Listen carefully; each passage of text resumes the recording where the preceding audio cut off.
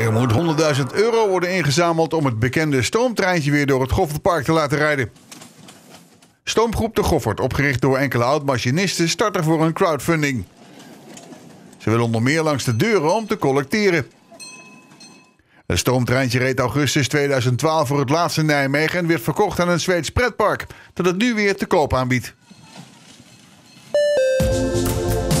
Volg ons online via Facebook, Altijd N1.